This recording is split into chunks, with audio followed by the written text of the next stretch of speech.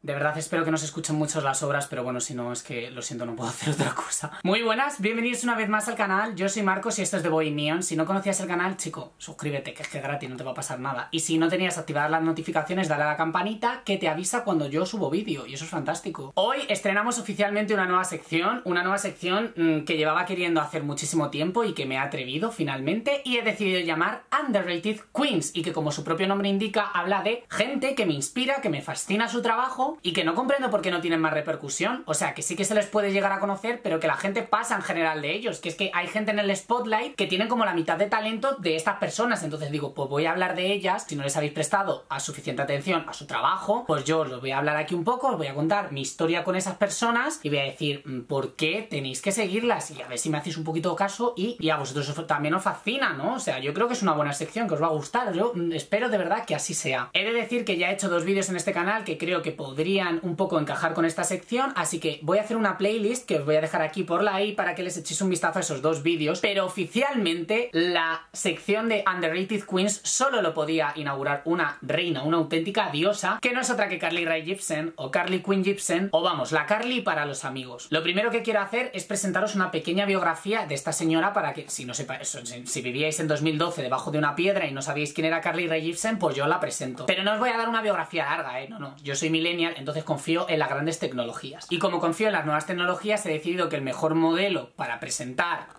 a una persona es su biografía de Twitter, que son 140 caracteres. Ya sé que Twitter, algunas personas, porque a mí no, Twitter, you, that bitch. ¿Quién te crees que eres que no me ha dado todavía los 280? ¿Eh? Pues eso, que sé que admiten 280 caracteres ahora en los tweets, pero en las biografías creo que siguen siendo 140. Así que vamos a limitarnos lo que dice este pajarillo azul multimillonario. Allá va, biografía de Carly Rae Jepsen, Queen para los amigos. Me ha costado bastante resumirlo, ¿eh? porque podría estar aquí hablando de ella años, pero bueno. Así a grandes rasgos. Una cantante canadiense que casi gana American Idol y saca un CD a lo Taylor Swift, un massive hit y el disco de 2015. Y de la vida en general. Y nada, ahora es cuando os doy la chapa y os cuento mi historia con esta señora y quién es y todas estas cosas. Bueno, un día estaba yo aquí tumbado en esta cama, que bueno, por cierto, eso es un videoclip de la Carly, y de repente me llega un WhatsApp de mi prima y me dice, por favor Marcos, tienes que ver este vídeo porque creo que te va a gustar. Y entonces en mi celular aparece el buen videoclip de, Call Me Maybe y yo en plan de ¿esto qué es? Para todos aquellos que no hayáis visto el videoclip de Call Me Maybe, que... Mm, espero que seáis muy, muy, muy pocos, pero bueno, es que ya, como estoy viviendo en 2017, ya no sé qué esperarme, así que yo, no os preocupéis que os lo voy a resumir. Mira, esta tía está cantando en su habitación como una diosa, dándolo absolutamente todo, that's me, y de repente se asoma a la ventana y está su vecino buenorro mmm, cortando el césped sin camiseta.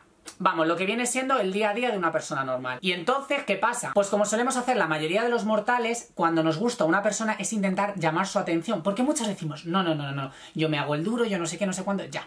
Bueno, si te aparece el muchacho del, del Call Me Maybe, te aseguro que te bajas un poco el orgullo. Entonces ella, pues como buenamente puede, pues empieza a darlo todo ahí en plan de, ¡Ey, hola, tal, no sé qué! Pero, ¿qué ocurre? Pues que la Carly escribió la historia de mi vida y yo comprendo perfectamente lo que ocurre en ese videoclip. Porque pasa de su culo, que el otro está en de, y en plan de Carly, no te vas a comer un rosco, te lo aseguro. Total, que ella está lavando el coche así súper sexy y de repente se cae. En plan, pues eso, cuando intenta ser sexy pero no lo consigue, pues eso es una buena representación. Y entonces el otro le ayuda y ella se pone el buen pareo de la playa y le empieza a hacer un private show en su garaje. Vamos, que yo dejaría que me cortasen el brazo para que a mí la Carly me cante Call Me Maybe en su garaje. O sea, que, escúchame, life goal. Cuando ella se acerca a darle el número, vaya, el buen horro estaba interesado en el amigo de la Carly, en el bajista. Y claro, ella se queda con una cara de what the fuck, tío, de qué va. Ese motivo fue suficiente para que yo no perdiese de vista a Carly Rae Jepsen. De hecho, un día estaba en una tienda y me compré su disco porque valía 6 euros y lo escuché, su segundo disco, Kiss, que diréis vosotros, ¿por qué no os hablas del segundo y no del primero? Bueno, pues mm, todo despacito, pasito a pasito, suave suavecito, vamos a ir entendiéndolo. Lo escucho, me parece uno de los mejores discos para escuchar en verano, o sea, es una fantasía de disco, pero a nivel mundial flopeó. Entonces, ¿qué ocurre? Que empieza el declive de Carly Rae Jepsen, que se la considera una One Hit Wonder, que para los que no sepáis lo que es este término es esas artistas y esos artistas que tienen un éxito en toda su carrera y ya no hacen nada más interesante y se les olvida. ¿Y qué ocurre unos años más tarde? Bueno, pues que yo estoy en una clase aburridísima de la universidad y me salta la notificación de que la Carly ha sacado el nuevo single y yo en plan de hola, entonces me pongo los cascos porque lo que decía mi profesor me importaba poco y entonces empiezo a escuchar I Really Like You. ¿Qué ocurre? Pues que mis sospechas se hicieron ciertas. La Carly repetía la fórmula de Call Me Maybe y hacía como un refrito de Call Me Maybe pero con otro ritmo, tal. ¿Qué pasa? Que yo se la compré, pero hubo gente que dijo, mira Carly, a mí no me vas a volver a engañar, no vamos a volver a escuchar una canción no apta para diabéticos porque eres lo más azucarado del mundo, diciendo que te gusta mucho un tío y tía, eres una pesada, total, que la gente pasó de I Really Like You. ¿Y qué pasa? Que yo estaba deseando escuchar el disco, pero yo me imaginaba pues un Kiss 2.0. Plot twist. No sucedió. Esta joya apareció en el mercado. Pero además de una forma muy peculiar, porque es que el disco se estrenó mm, cuatro meses antes, reales, cuatro meses antes en Japón. Tía, tienes una discográfica que deben de ser todos unos empanados, porque ¿qué pasó? Pues lo que iba a pasar, se filtró el disco, la Carly dijo, no existe internet, entonces publicadme el disco en Japón en abril, y luego ya en septiembre, octubre, noviembre, pues lo publicamos en el resto del mundo. Y yo escuché Motion, y escúchame, o sea, es una auténtica obra maestra, es que ese disco es perfección. Pero es que Carly es muy inteligente, no es un artista en plan que saque canciones y ya es que ella escribió 60 canciones para este álbum y que dijo, chicos, que me publicáis 18, pues no pasa nada, que yo voy a sacar el resto de otra forma. Vale, ¿sabéis lo que es esto? Esto es, mirad, eso es el autógrafo de Carly Rae Jepsen.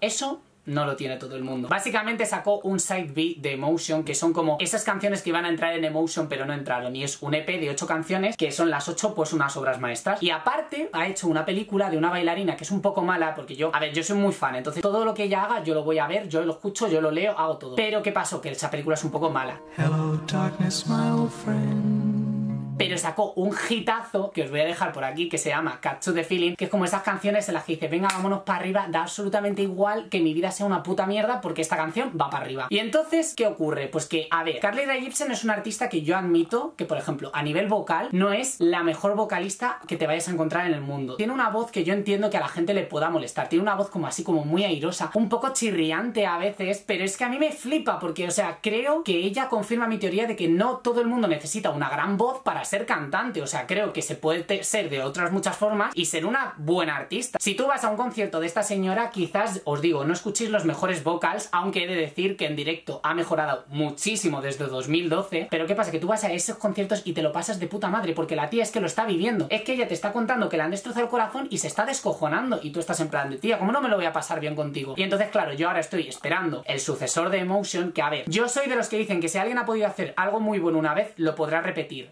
Véase Taylor Swift. Pero claro, mmm, es que Emotion es mucho Emotion. Entonces yo que he hecho, escucharme, dije, anda, que la Carly tiene un primer disco. Bueno, si no lo escucháis no pasa nada. Se llama Tag of War, tiene algunos hits, pero sinceramente yo no es un disco que os recomiende en exceso. O sea, prefiero que escuchéis Emotion, Kiss, ¿no? Pero el primero, como que si escucháis de primeras el álbum debut, pues vais a decir esto que es. Y un poco esto es a grandes rasgos lo que es Carly Rae Jepsen y por lo que a mí me flipa. O sea, creo que es un icono pop fantástico que ha traído de vuelta un sonido muy ochentero, muy tal, y me parece que tiene muchísimo talento. Ella escribe todas las canciones. O sea, hace poco un amigo me dijo, ¿sabes que hay un estudio donde dice que Carly Rae Jepsen no canta nunca de un amor correspondido? Que siempre está en plan de me ha robado el corazón, me lo han destrozado y tal. Y es, que es totalmente cierto. Entonces, como es la story of my life, pues yo digo, pues venga, vámonos, porque yo a esta chica la entiendo. O sea, es como que me está contando sus problemas y son los míos. Lo que voy a hacer para que me hagáis un poquito de caso es haceros una playlist aquí abajo que la voy a hacer en Spotify y en Apple Music para que escuchéis lo que creo que es la lista perfecta de canciones para que os enganchéis a Carly Rae Jepsen. Tened un voto de confianza en mí, porque yo alguna vez os recomiendo algo que digáis vosotros, ¿qué puta mierda es esta? No, ¿verdad? Que os vais a hacer fans de esta señora, fans de póster. Y esto sería un poco todo lo que quería hacer de esta mujer. De verdad me parece una artista súper infravalorada, me parece que tiene muchísimo talento. El próximo disco lo va a petar otra vez, si es que no tengo ningún tipo de duda. Si os ha gustado esta nueva sección, por favor, hacedmelo saber de alguna forma. Tenéis los comentarios, tenéis los likes, tenéis mis redes sociales en la cajita de descripción. A mí me gustaría que cuando hago un vídeo me digáis, oye Marcos, este nuevo vídeo es una puta mierda, de verdad, ahórratelo. O decir, mira Marcos, me gusta esta nueva sección. Así que si es así, si os ha gustado y os ha llamado la atención un poco eh, lo que os he estado contando, decídmelo en la caja de comentarios, ponedmelo por Twitter, retuitead el vídeo, dadle amor. Yo quiero que le deis amor. Y eso sería un poco todo. Si no conocíais The Whirling Neon, os dejo aquí el botón para que os suscribáis, para que veáis toda mi linda cara todos los miércoles a las 7 y domingos a veces, que eso os lo aviso por las redes sociales. Y nada, que espero de verdad que escuchéis la playlist, que me digáis qué os parece Carly Rae Jepsen y si la conocíais y eso, podemos fangirlear. Hasta la próxima, yo os mando un beso a todos y nos vemos en un próximo vídeo.